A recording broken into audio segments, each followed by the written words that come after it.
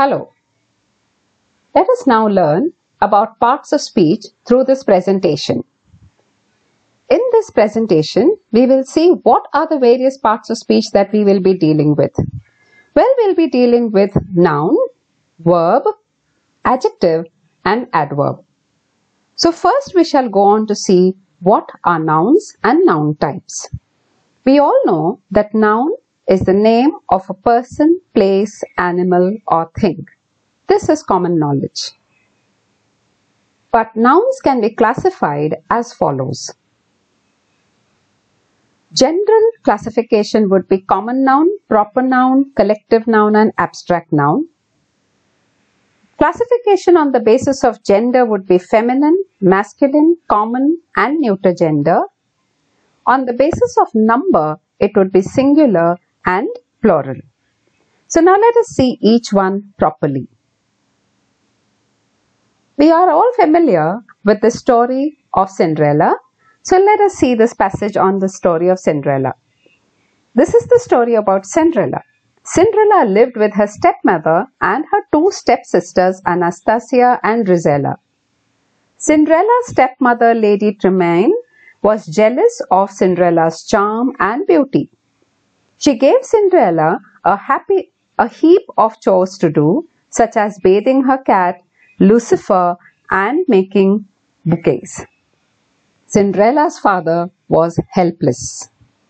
So this is the passage on Cinderella. Now let us see the various nouns that we learned, the general nouns. Classification. Okay. So the common nouns here in the story are story, stepmother, stepsisters, cat, chores and father. It's a common noun because it's a general category of things. Therefore, we do not know anything in particular about them. These are categories. So, story is a category. There are different kinds of stories. So, story is a category. Stepmother, stepsisters, cat. These are all general categories. So, they are called common nouns. Commonly, we use them for anybody. Now, let us see then what are the proper nouns.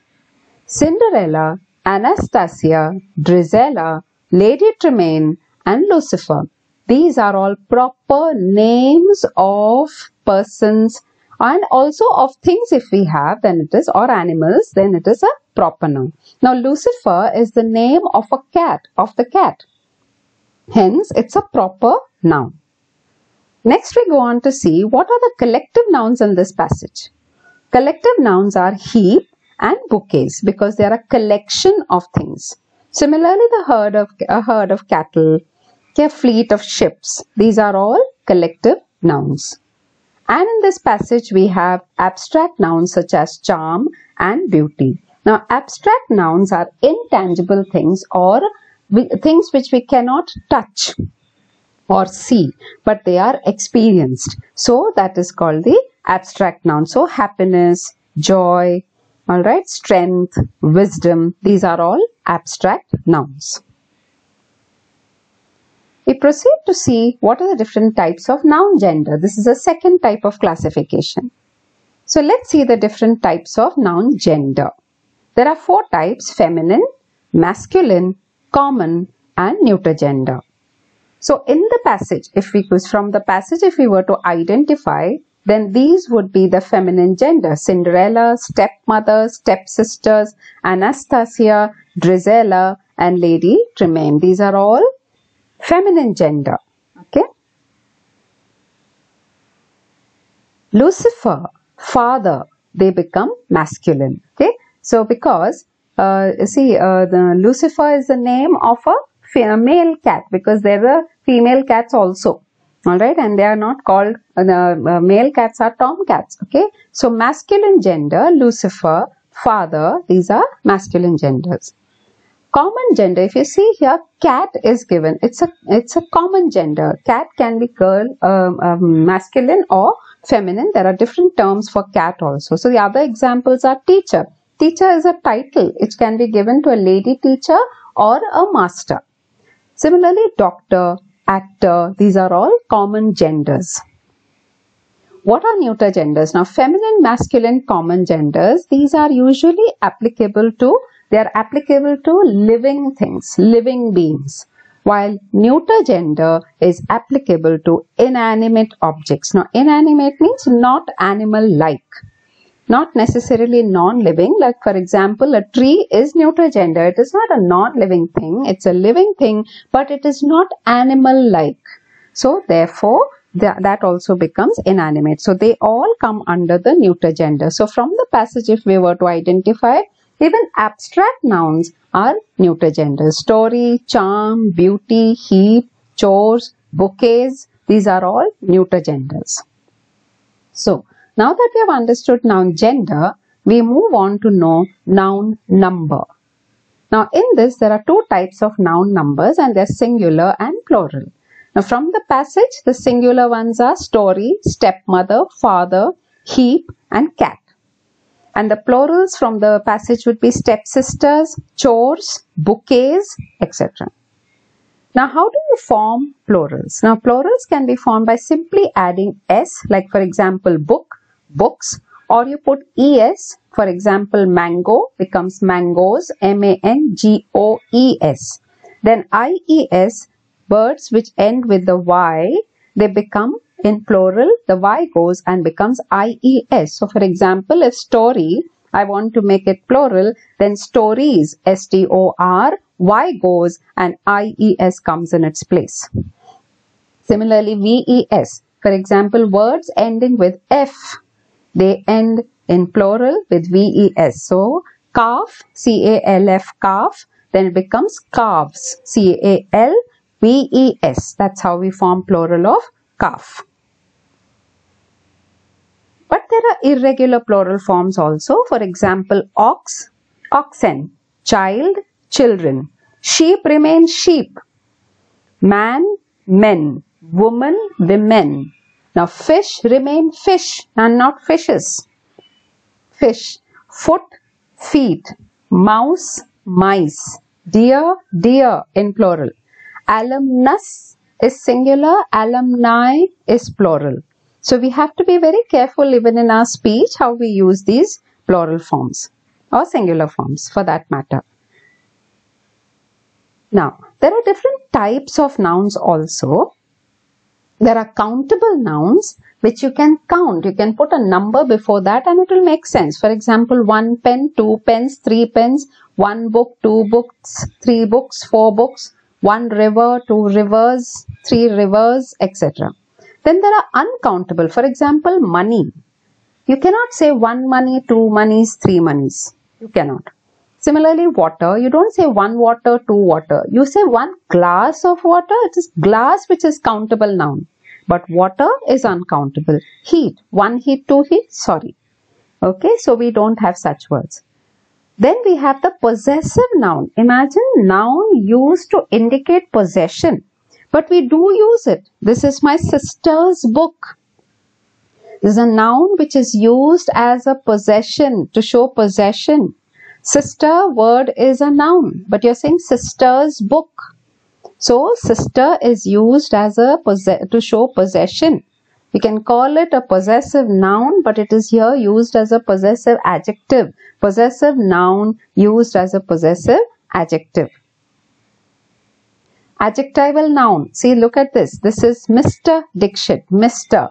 An abbreviation. Mr. Now, this Mr. word is also a noun, but it is used as an adjective. So, it is not possession, but it is an adjective noun. Any title like this, these are adjectival nouns. So, possessive noun and adjectival nouns.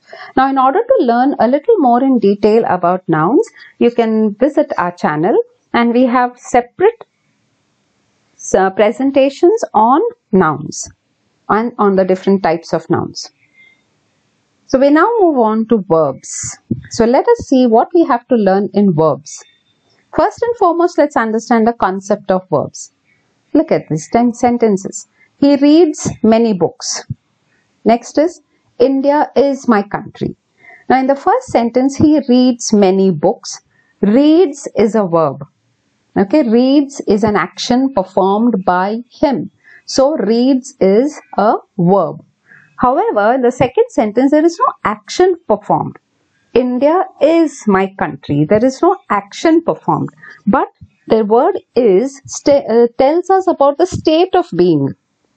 So India is my country. It is telling us that in the state of being of India. So verb definition is twofold. That is, it depicts an action and secondly, it depicts a state of being. So what are verbs? Verbs are words that depict not only an action but sometimes they also depict the state of being. Now there are different types of verbs. For that, look at these sentences. First one is a transitive column where you see here he rode the cycle and the second one the lady wrote a letter. Now in the first case he rode the cycle. Rode is a verb but if you see he rode what when you ask the question what after rode you get the answer the cycle. Similarly the lady wrote a letter. You ask the question what after wrote you get the object a letter wrote what? A letter. So if you see here in the first column, the action is being passed from the verb to the object. The object is needed there to take the action. But in the second column, if you see the first sentences, he rode slowly. He rode what? You're not getting uh, any object as the answer, so the action is not passed over. The action is not passed over, it is not transferred. So even in the second one, the lady wrote quietly. That's it. The lady wrote what? It's not mentioned. The action is not passed over. The action ends there because there's another word which is not an object. So there is no transfer of the action to anything. So such are called intransitive verbs. So a one verb can be used both ways, transitively as well as intransitively. When the verb is followed by an object, then it is a transitive verb. When it is followed by a noun that is that takes the place of an object, then it is called transitive. And intransitive is when the action is not passed over to an object. Now, next types we'll see. Look at the following sentences. Finite and non-finite. Let us look at the finite column. He brings eggs. Okay, he. He brings eggs. The verb used throughout is bring. They bring. Why don't we use brings? We could use brings only. No. They bring eggs. Third one, he brought eggs. Okay. Now all three are the forms of bring. But they are changing. In the first two sentences, they are changing with reference to the subject. When the subject is singular, brings. Sashi brings eggs. Okay, the child brings eggs. The child eats eggs. The child ate eggs. Okay, something like that. They bring, when it is plural, the children bring eggs. The, uh, the, uh, the people bring eggs. Okay, so when it is plural, it changes. It becomes bring. Similarly, when it becomes past, he brought eggs. He brings eggs is singular, uh, is a present. When it is becoming past, when the time reference changes, he brought eggs. So you see the difference here? The verb is changing in form. When a verb changes in form, we call it the finite verb. Okay? These verbs, they change in form with reference to the number of the subject as well as the tense of the sentence. Alright, so therefore these are called finite. These verbs change. Now let us see these two sentences. He likes to eat eggs. They like to eat eggs. If you see the highlighted words to eat, they are not changing. What is changing is likes and like. They are changing. But to eat remains unchanged. So in some sentences, if you see, likes and like are finite because they are changing.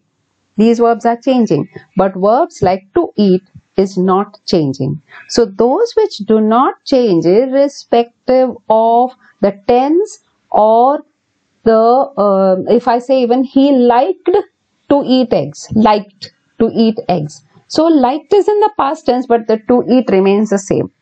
So these verbs do not change irrespective of whether it is a singular, plural or any tense it is not changing. It remains the same.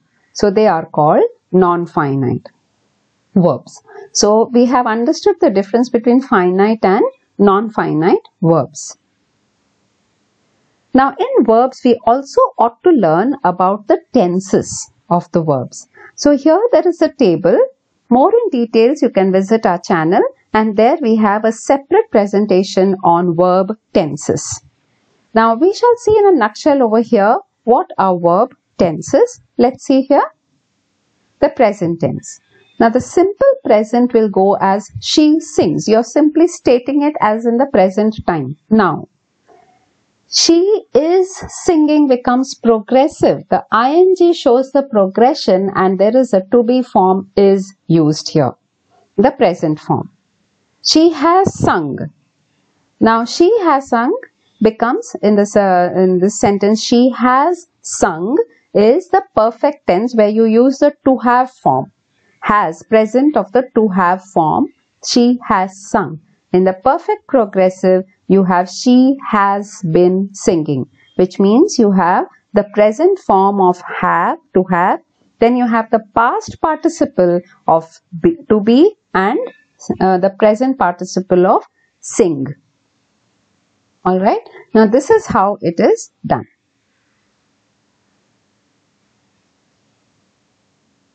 Okay. Now we have the past, the column of past. She sang, she was singing, she had sung and she had been singing. Now she sang is a simple past but if you have to make it progressive then ing and since it is a past tense you don't say is singing you say she was singing. Similarly she has sung so in the past it will become she had sung in the perfect tense. In the past perfect progressive you have she had then you have to have been and singing. Because you can't say she had singing. So she had been singing. In the future tense we have she will sing she will be singing she will have sung and she will have been singing. So what is common in all is the word will because you have to indicate future. And then you have to see as functional grammar how we really speak. She will sing. I want the ing in the progressive. So she will singing. No, you know that there is a word missing. She will be singing. So you have to put the to be form here. She will be is the to be form of future tense. She will have sung. It is the perfect form of uh, uh, have. Okay. Will have. It's a future form of the perfect that is have. So she will have sung. If you see the sing becomes sung here, it is past participle of the word sing. And last one, she will have been singing. It's perfect progressive. Okay, so she will have been. You want to make it perfect as well as keep it as progressive. Then it will have to be she will have been singing. So this is how we make the tenses. Now that we have finished with the noun and verb, we shall now move on to the third part of speech called adjective. Now let us see what adjectives are and their types. Take a look at these sentences. This is a huge fort. Second one, it is beautiful.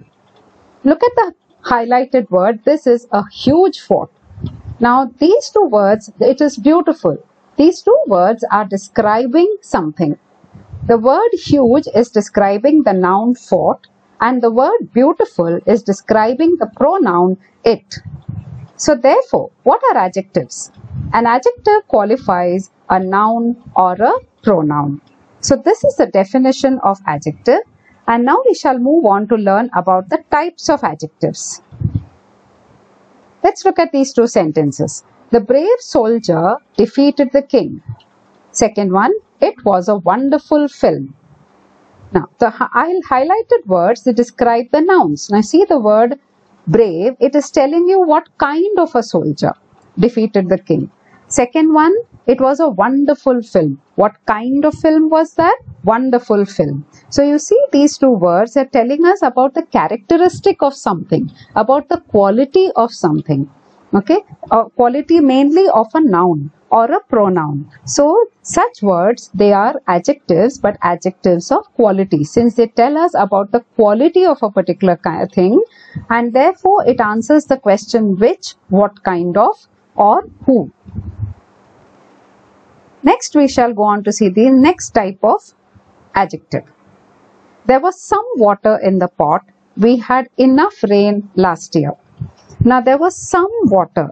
Look at the adjective some. It is not telling us about the quality of water, but it is telling you how much of water was there in the pot. So there was how much water in the pot? Some water. We had how much rain last year? Enough rain. So both these words are answering the question how much and they tell us the amount of the noun that is there in the sentence. So such words are called adjectives of quantity. Now we have to be careful with reference to adjective of quantity and the next type of adjective that we are going to do because usually there is a confusion between the two. So we must understand one thing when we do adjective of quantity. Look at the noun here, some water. Now water is what kind of noun? It is an uncountable noun. You cannot say one water, two water, three water. So therefore some becomes adjective of quantity and even in the next one, you don't say one rain, two rain, three rain. So rain is also an uncountable noun. Therefore, the adjective enough is an adjective of quantity. So it is very essential that for adjective of quantity, the noun should be uncountable. Now let's look at the next type of adjective. Look at these sentences there were some pencils. Now deliberately I have used the same terms, the same adjectives. But look at the nouns now. There were some pencils in the box. We had enough books in the bag. Now the nouns are different. There were some pencils. Now pencils we can say one pencil, two pencils, three pencils. Therefore pencils are countable nouns. Similarly the next one. We had enough books in the bag we can definitely count books as one book, two books, three books, four books. Therefore, enough also is an adjective of number. Now, because they are along with countable nouns, these words or these adjectives become numeral adjectives. And they're telling us about the amount or how many. They don't answer how much pencils. They say how many pencils, how many books. So they are numeral adjectives. Numeral adjectives are of three types. Let us look at these examples. They are these three types, indefinite numeral, definite numeral and distributive numeral. Now let's see the indefinite numeral. Look at these examples. I ate few biscuits. Now few is not telling you how many exactly. But yes, biscuits can be counted. So few is indefinite numeral. I ate three biscuits. Now here it's definite numeral. You know the definite number of biscuits. Now I ate three biscuits. Now I ate every biscuit. Now here it means there were many biscuits and each and every biscuit. So it's distributive. It is distributed and so you get the word every. So each one, every one. Okay. Now these are distributive adjectives. To know more about this, there is a separate presentation in our channel. Kindly subscribe and you may access this um, uh, presentation too.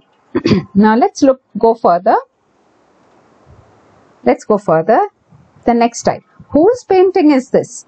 Which book is yours? So now the highlighted words are actually the WH words which actually signify or denote questions. So these are nothing but interrogative. But we have to be very careful here whose painting is this? There is a word noun which is immediately following the WH word and this is absolutely essential for it to be interrogative adjective. Without a noun following that word whose, it cannot be an adjective. So WH questions that is the you know, whose painting is this? Whose becomes an interrogative adjective because the noun is immediately after it. Similarly, which book is yours? The word book is immediately after the word which. Therefore, the word which becomes an interrogative adjective. If the word, if uh, for example, which is your book, then after the word which, there is no noun, Hence, it does not become interrogative adjective. It becomes another part of speech, but it will definitely not be interrogative adjective. Now, let's look at the next one. I bought these pencils. That picture is painted well. Now, these two words very clearly denote pointing out or demonstrating or showing. So, I bought these pencils. That picture is painted well. So, whenever there are adjectives which help to point out or demonstrate or show, then they are called demonstrative adjectives. Well, here too the rule is very important that they should be followed immediately by nouns. If there is no noun immediately following these words, then they do not become demonstrative adjectives. So, demonstrative adjectives should definitely have nouns following them, like interrogative also. Now, let's look at the third one, uh, the last one. Please bring my book here. Somebody stole his wallet. Now, my book, his wallet. Now, these words, my, his, etc., these are words that are showing possession. Whose is it? Okay, it is showing possession and it is very important here too that the noun should follow it. Otherwise, it is a pronoun please bring my book because there is book following the word my. It is possessive adjective. Similarly, somebody stole his wallet because there is a noun following the word his. His becomes possessive adjective.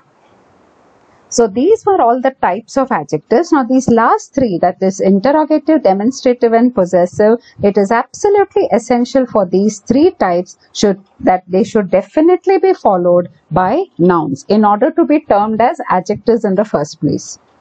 Okay, so now that you've understood adjectives, let us understand, these are, those were the main types. Let us understand the exceptional types of adjectives. Look at this. She ate an apple. This is the book I was talking about. Now here you would say an and the are articles.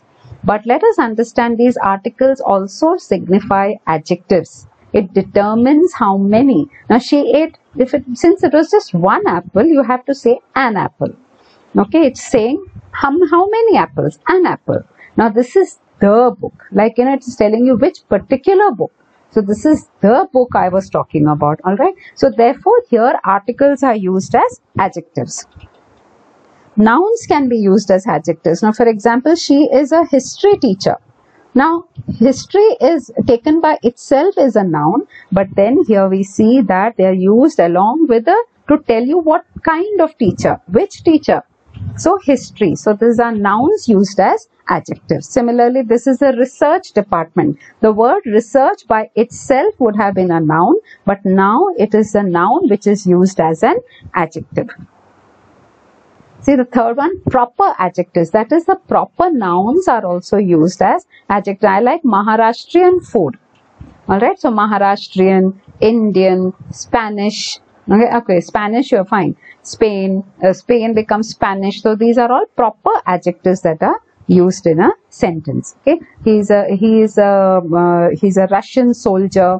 So this way we are using now Russia becomes Russian. So these are all proper adjectives. So this is how we can classify adjectives. These are all exceptional types of adjectives. So we should be able to recognize them when they qualify nouns. We, we should be very clear in our understanding that they are adjectives.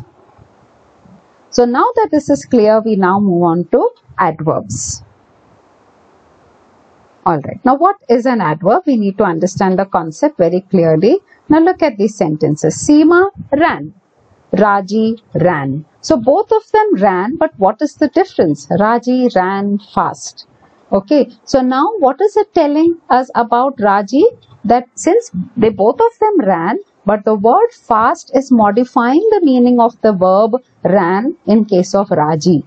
It is telling us how she ran. In the first case, we cannot, we do not know how she ran. Okay, so here we are seeing that the word fast is actually modifying the meaning of the verb ran. Let's look at the next one. this is a beautiful painting. So the word beautiful is an adjective. But look at the second sentence. This is a very beautiful painting. Now there is the word very which is defining or telling us more about beautiful also.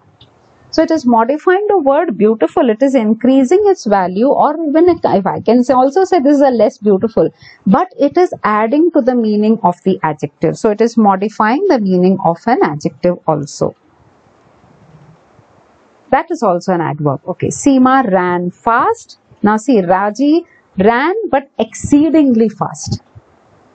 So when you say exceedingly fast means it is again modifying the meaning of an adverb, already existing adverb fast. So this is modifying already an ad existing adverb. So therefore adverbs perform these three functions. So whenever I say he was quite good, so then you can immediately say, okay, quite means it's an adverb. Right? So an adverb is a word that modifies a verb an adjective or another adverb. So that is the definition of an adverb. Now these are the different types of adverbs that exist. So the, if you see here there are eight types of adverbs. Now let us look at them one by one. See these two sentences. I looked upstairs for the book. Air is everywhere. Now I looked upstairs. I looked where for the book? Upstairs. Air is where?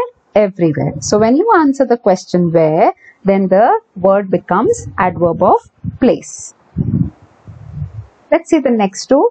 Yesterday I went to her house. When did I go to her house? Yesterday. Give me the book when? Now. So now it is not giving us a place. These words which are highlighted yesterday and now are telling us when an action took place. So it's telling us about the time when the action took place. Take a look at the next two sentences. Our soldiers fought bravely.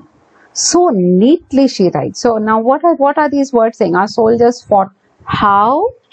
Bravely. So neatly she writes. How does she write? Neatly. So now here these words are telling us about the manner in which the action is performed. So it is an adverb of manner and answers the question how. See the next two. She always does her work. I read books sometimes, no? It is telling you, you know, how often, how often. She always does her work. How often does she work? Okay, always. How often do I read books? Or oh, sometimes, okay? So it is giving us about the frequency or how often some action is performed. Okay, he always does this. She sometimes does this. Okay, so this is called frequency or how often. Now let's see the next four types. It was extremely cold yesterday. Rajesh was very upset with his son. Now if you notice here, these highlighted words are telling us more about the adjectives cold and upset it was extremely cold. So it is modifying the word the adjective cold. So when you have something like this extremely cold it is cold but it is more it is extremely so it is giving us a degree of that coldness. The next one also is giving us a degree of how much the person was upset. So when such words are used to express the degree or extent of something how much is that? How much is that cold? How much was he upset? Then it is called adverb of degree or how much. And adverbs of degree are modifying adjectives. Very clearly adjectives. Okay let's see the next two I will certainly do it. Yes, matlab, that you uh, what you're saying is definitely I will do it. He never does, never. Okay, so there is a negation. In the first one, there is an affirmation or confirmation. Yes, certainly I will do it. Surely I will do it. He never does it. So this is a negation. So either you, these are adverbs of affirmation or negation. Okay, about doing a task. Now, obviously he stole the car. Now look at these sentences. These words this word needn't be there you know. He, uh, obviously he's told that. This is your opinion. Now you are giving an opinion here. And here also he opened his mouth but you are giving a word there foolishly to describe you know. He foolishly opened his mouth. So that means this is your opinion that you are saying. And when such things are there it's called a comment. All right? This is an adverb of comment. Obviously seriously you know when you say such things so then it is adverb of comment next one you need to work hard semicolon otherwise you will fail so very clearly here you see that you know there are actually two sentences then there is a semicolon in between and a word is used that will combine these two. They are looking like conjunctions, but they are really not conjunctions. They are called adverbs of conjunction. Okay, I wanted to eat the mango, however, I had no time. It's very important for the semicolon to be there, otherwise it can, you cannot combine these two sentences. So, however, moreover, you know, these are words. Otherwise, therefore. So, when something like this comes, these are adverbs, but adverbs of conjunction. So this is very clear. We have now finished about eight types of adverbs. Now definitely you would have understood this. Now look at this story here. Once a crow named Caw was very thirsty. We are about to revise all that we did so far. He looked for water everywhere. He also asked a herd of sheep for water he was tired. Moreover, it was very hot. Look at the word moreover. Okay. Moreover, it was very hot, though it is not marked. Huh? Suddenly, he saw a big pitcher. Oh, surely there will be some water in it, he thought. He flew happily to drink water. However, the water was way below. He thought of an idea. Caw put some pebbles into that pitcher. The water rose and he quenched his thirst. So now if you look at all these, they are all very colorful. Lot of color is there in this passage, but then the colors signify something. These are all, if uh, this is the color code. Now what you would have to do is not just look at the color code. We, uh, this is preliminary thing is done for you. You would have to know what are the types also. So you would uh, try to recognize the types also of these parts of speech. So hope you have uh, you know uh, understood everything. So thank you very much for paying attention to this presentation.